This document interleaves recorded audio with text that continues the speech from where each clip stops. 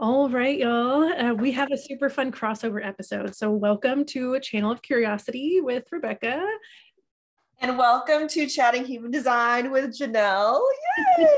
Yay! So, so, we're recording this and then we're going to both release it on our platforms so that we can just share the information with as many people as possible. And I'm excited about it. Thank you for doing this thing with me. Yeah, I love a good collab. This is a good idea.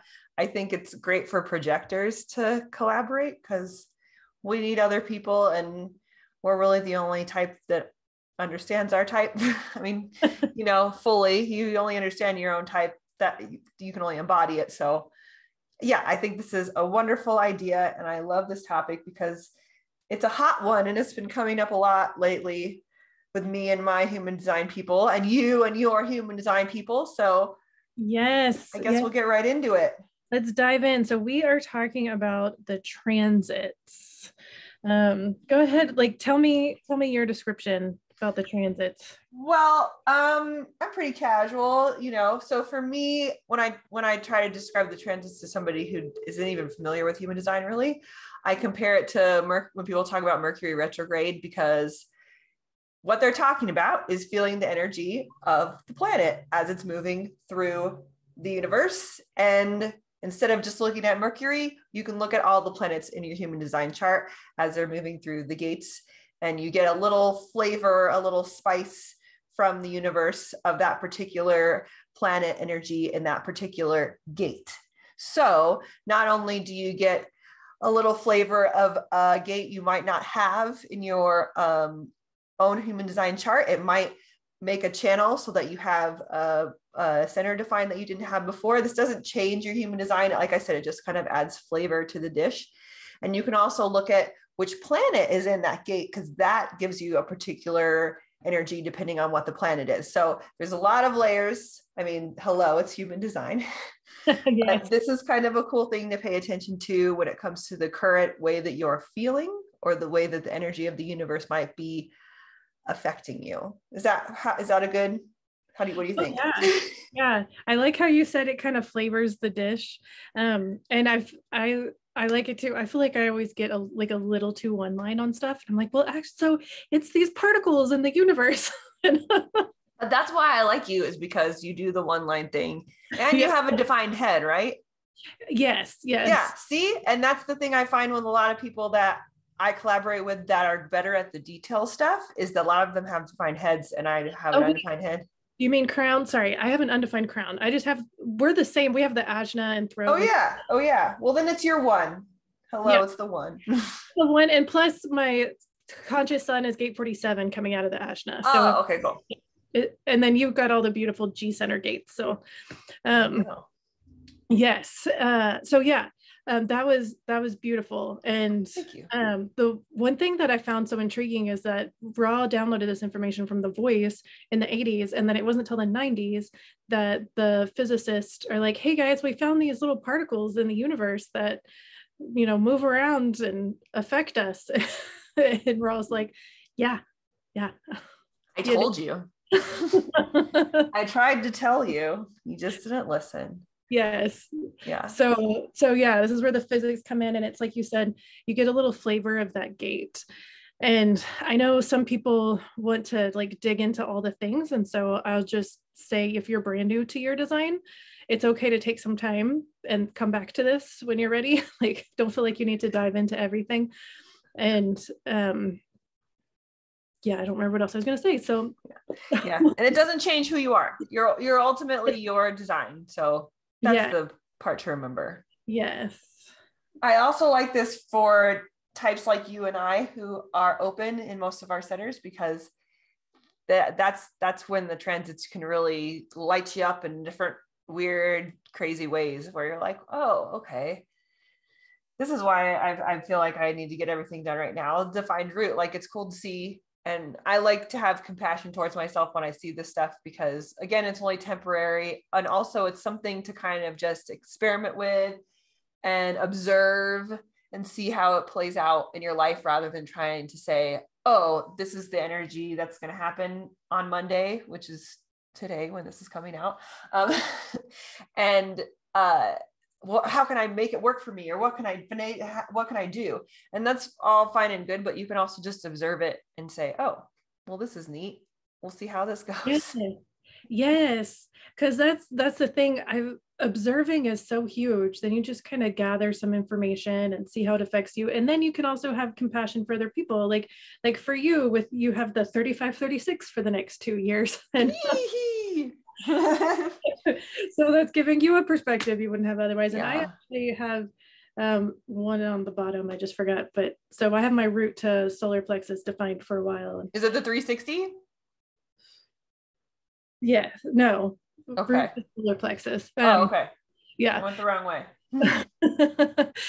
um, so so yeah, you just get this information and that's been helpful for me too where when i feel like i'm stuck in my emotions or like I'm feeling something a little more than I used to feel. And I remember, oh, that channel's on. So let's just dig into that for a bit. It's the 4130. Oh, cool. Yeah. Excellent. Um, so tell us what's going on on Monday. The sun switches on Monday. Yeah. So hopefully this podcast is coming out on Monday and then that's today. And this is when the sun and the earth change their gate.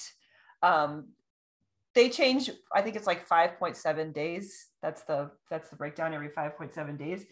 And that's the ones we're going to focus on just because that's about the length of time that we will do the podcast. So they're also really strong energies. The um your personality sun is like the strongest uh gate in your chart. It kind of is a big part of your personality your identity and the gift you're here to give to others. Um, and your earth is kind of what grounds you here and supports you in this physical reality. And so that's that's the flavor of those particular planets that we're going to go over. And the gates that are in them will give us even even more stuff to talk about. So um, we've got 15 in oh, and this is cool. Both gates are in the G center. Yes. But I have I don't have either of them, which is very interesting to me. so I was like, oh, this will be even more fun identity center energy to deal with or have because I do like the G center a lot and that you're right, I have a lot of energy there. So mm-hmm. it's uh, gate 15, which is the gate of humanity. It's like a love of humanity. And it's about really wanting equality and fairness for all, having a no judgment kind of energy about you, and just really being modest and kind. And it's so, it's just a beautiful, loving energy. I love it. It sounds so nice. Um, mm. And it's also has a lot to do with human interaction. There's a love of human interaction in this gate. So um, it might make you more wanting to be social um, just because they love they they love it's a, like a love of life. So and humanity the people in it. So you want to be around them a lot. And that might happen to you right now or if you have this gate all the time then this might be like home energy feeling for you. Mm-hmm. this energy can also really bring people together. So you can really match make some people or or be like hey this person would be really great for you to know in your business or your personal life or la la la and let's let's bring them together. It's like fourth line um, per- profile energy right here, which is okay. which is pretty neat. Um, you might also notice that people are going to come to you for stuff because you're, like I said, you're no judgment person in with this energy. So they're going to come to you when they have problems and they want you to help them because you're so kind and nice. So just be aware of the fact that you might have people knocking on your door simply because you're this energy makes you real nice people want stuff from you. um, it can also affect you in the way that it can make you uncomfortable if someone is trying to control you or your life or aspects of your life that you feel are yours to control. So this is like a, this is free spirit time in here as well. So you if, if someone if you feel like oh someone's trying to control what I've got going on, just have compassion with yourself and realize that this energy doesn't want to be contained it wants to float around you know mm-hmm. so yeah i think this is a really good uh, energy this is one of the four love gates there's four love gates in the g center and this is the love of humanity so i think it's a really nice flowery way to start the week What do you think? Absolutely. It sounds beautiful and like a welcome relief from a lot of the conflict that's been going on. yeah, right. so like maybe maybe the universe can settle down for a little bit and um it is it is such a beautiful energy and um it's part of the channel of rhythms too so is there like mm-hmm. a universal kind of patterning that comes with this gate yeah it, i mean it points to the sacral center and um i have the five so i'll have this will define my sacral center for this time in the transits and mm-hmm. um when it comes to i know the that with gate five it's it's important yeah to have rhythms and patterns in your life that make you feel connected to this planet and it also can really um, you can really be affected by the changing of the seasons because um, that's mm-hmm. planetary change and this gate really connects you or this whole channel really connects you to the earth because it's sacral center gate so it's very or channel keep saying that uh, so it's very earth centered i feel um, so yeah, when this energy comes around, especially if you have the five and you make this connection, uh, recognize what rhythms your body is calling out for, what what what it what routines it wants, um, what it wants from nature. That's how I would put that. yes, yes. Because every like everything about nature kind of goes in a rhythm. Mm-hmm. We've got minutes and hours and days and weeks and yeah that's what i thought was really cool when i found out i had gate five was oh i i feel more tired and like i want to get less done in the winter that actually makes sense because that's oh. hibernation time and like yeah. and in the summer i get more energy and i can get up earlier i know it has to do with the hot and the cold but i mean that's part of the weather so. Part of it yeah. Yeah. Okay what a beautiful energy to yeah right right? And it really goes well with the personality earth gate which is going to be gate 10 mm-hmm. um, and that is like a self love energy. This is another love gate so it's a love week guys. Be nice to each other. Um, and this is a love of the self and of unique individual expression and this is an energy where you really want to or you really can uh, positively affect others just by your own behavior and is really about going to the beat of your own drum and not really trying to fit in with others. So this really fits into the energy of the 15, which is I don't want anyone to control my life. I'm in control of my life. I got this. And then you have this other energy here that says, yeah, and you're not trying to fit in either. So, so don't do that. Um, so this is this energy is really going to be just I picture like somebody in like a Shakespearean play, like skipping through grass in like a crazy outfit. Um, with like a flower. Just, yeah, with like a little like just like Midsummer Night's Dream. That's what I was thinking of.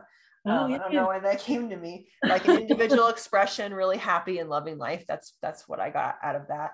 Um, and yeah, really, if if you really feel a pull to do something that goes against what you think is fitting in or your friends or the grain or whatever do you go that like lean into it experiment with it because this energy is really about finding your own individual expression and being your true self and really loving that part of you so mm. it might be a great time to practice some self-love and self-care uh, practices that you might have or to maybe google some of those or ask your one line friend if maybe they have some ideas and really really focus on loving yourself for who you are as an individual person. That's really this energy. So it's really nice i think that's amazing because i feel like that's a lot of why we both do what we do i know for me i run into a lot of women and moms because that's just my world and it's like they're scared to love themselves or to put themselves first in any way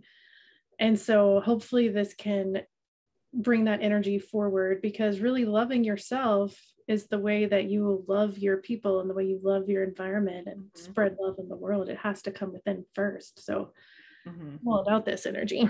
Right. This is a good week to start this. It's all like super love. I love it. Um, right. Um, so, that's going to be the energy in the sun and earth for the next five or six days. And again, it's just something to observe and notice, and you can experiment with it or you can just look at it. It's really just there for you to hang out with. And if you um, have a chance to look at your transit with a composite chart of your own, you can see what new channels might be expressed, what new centers might be expressed.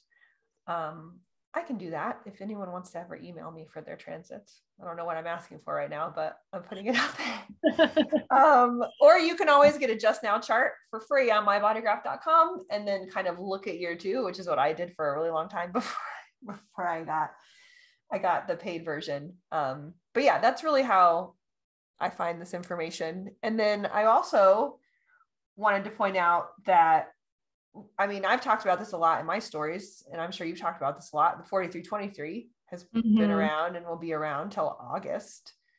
So have compassion towards yourself when you say things without thinking and they come out not the way that you wanted, or maybe you say something and it really clicks something in someone's brain and they're like, oh my goodness, you put something together for me that I couldn't put together before.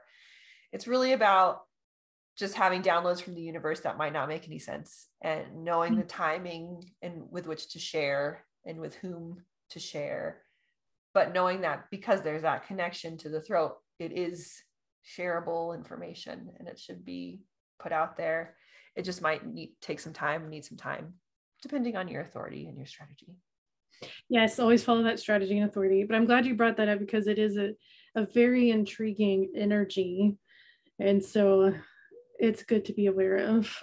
From love to intellectual, that's where we moved. yes. yes. But it's interesting because the 4323 is a very individual channel. It's part of the individual mm-hmm. That gate 10 is as well. It's in the individual and the integration. So, so yeah, just it's just all about when you are you and you love yourself for who you are and you embrace that and recognize that and show up in that, then it helps empower those oh, around yeah, you. I love that as well. Yeah, I love that. Yes, you're right. Independent or yeah, independent energy, individual energy is it's really important to recognize, and you're totally right that all goes together. That's so cool.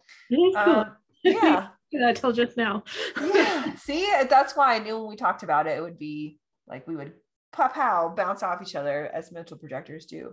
Yeah. Um, so yeah, that's really what's going on in the in the immediate transits that we're going to talk about um, or that i wanted to talk about. And my my thoughts on this is hey these are love gates people. So have compassion with yourself first and then turn that love out into the rest of the world and and be just a little bit nicer and have a little bit more compassion and be a little bit more softer when you feel like being harder. Um, and what else did I want to say? Oh, yeah. For me, because a, a projector, I really feel like this is a good time to examine invitations that are coming in and really feel into if they're for you or not. Because with the 15 energy of humanity, people are going to come be coming to you for help. I want help, help me out, do this, help me. I have problems. And we're projectors too. So we just kind of attract that sometimes. Mm-hmm. Um, I'm going to really look at these invitations and be like, okay, well, is this really an invitation for me? Because as projector, you know, we're here to wait for the invitation. But there's another piece to that, which is not all invitations that you receive are for you to take. So, yes, it's a one two punch of invitation. And I really, when I read this, I was like, oh, I, if, if people if start coming to me asking me for help like those are invitations because that's my time you know? If they're asking me for things it's my time and or energy or both. And do i want to do that? Am i going to do that? And i think this is a good time for me to practice that and for fellow um, projector projectors who have to wait for the invitation to to practice. Is the invitation right for you or not? And if you pick one and it ends up not being right for you after you've done it cool you're probably a third line. I mean that's kind of how it works anyway. That's what i was thinking too. Yeah, you jump into you jump in first and you're like oh whoops maybe not. But it's mm. really a good way to experiment with it and to have compassion with yourself when you maybe have to get yourself out of an invitation that you have accepted or maybe just finagle it so that it works for you. Yes yes. I'm that's an excellent point because we should always be aware of that but you're right with this energy it might be increased and and i always say observe don't judge so mm-hmm. if you jump into an invitation that turns into be incorrect then observe you know what there's so much that you can get out of that mm-hmm. what did mm-hmm. it feel like beforehand was there a point where you knew this was an incorrect in- invitation but you such a one three way to do this i know right it's like i'm going to ask questions but they're going to be about the experience and did i learn from that experience yes so it's so uh, perfect i love your one it's like one of my favorite profiles that I don't have is first line. So yeah. yes, I will I will dig right in there. I'm like, you know, other people are like, leave the past in the past. I'm like, no, let's unearth it. Let's figure out what's going on here. use this. We can use this information, people. Yeah. so funny. It's so funny. Do you do you have any um like last thoughts or thoughts on on the transits at all that we've talked about? Um let's see, not specifically. I love that we're starting this at the beginning of Cancer season because 15 is like it's a cusp between Gemini and Cancer, and Cancer is all about feelings and um, connection with people and kind of um, it's the crab, right? So like mm-hmm. on the outside, but it's protecting your all your emotions and your deep feels on the inside. So moving into that. So just really be aware of your feelings and love on yourself and enjoy this this time of learning i think it's great yeah i do i do too and i'm glad that we did this in a true experimental fashion because it turned out really well so yeah um, we're gonna maybe probably do this every week when the uh, earth and uh, sun transit basically and we'll just kind of maybe do it in the same format or if anyone has any suggestions for us, we'll always look at those and maybe take them into account. Yes. But we're from the, in the whole thing. So yeah, we're just gonna keep doing it because this stuff, like I said, the transits has become a really big part of my human design journey simply because I am so open. So to be able to look at these things and to see them and to show my friends, like the other day, I sent my friend her transit chart and she was completely defined. And she was like, What? And she's a projector. And so I went over a bunch of it with her. But um, it's really fun and it's a cool way to look at human design.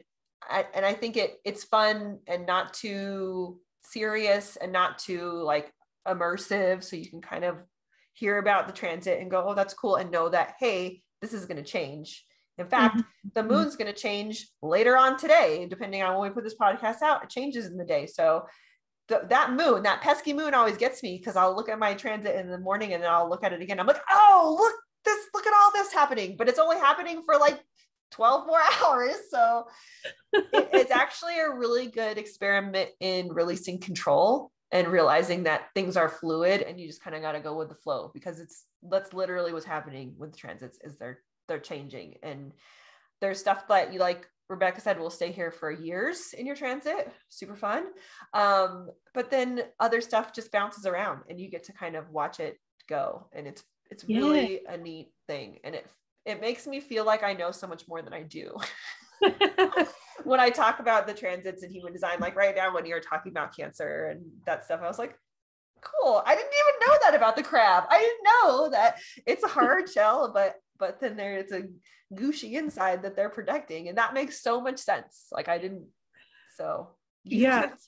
well and i'm just like i'm just moved into the astrology aspect of learning that and so yeah i'm just getting excited about it and i like the the overlap of it all. Um, but i love what you said about how you get to just kind of sample these and to it's like surrendering to the experiment. It's the ultimate surrender. Exactly. and um, just again for anybody who missed it there's a just now chart you can find and we can put the link in show notes so that you can access that. And i did the same thing as janelle where i just looked at that for free for a long time because i got curious. So yeah you can totally do that. You don't have to buy the paid programming just once you get obsessed with it and you want to look at the overlaps then yes yeah it's not too costly believe me i'm i'm pretty uh frugal so i i was hanging on to it for a while. And I'm like, you know what? No, you use this way too much. And then when I got it and I saw, I was like, whoa, I can see now how it how it looks without having to like try to put them together in my own head, which is really not easy. it's not. trying to imagine you're like coloring your own chart like oh my gosh i was like uh put them closer together on top like how? And, it, and i would usually get it right. And then sometimes i'd be like oh wait i didn't see that this connects here. Oh but now it all does it for me. So um, thank you all for listening to this transit talk experiment. It was super fun. Um, and yeah maybe it'll become a whole new podcast for us. Who knows um, so yeah, thanks guys. It was great to have you. Um, we will talk to you soon.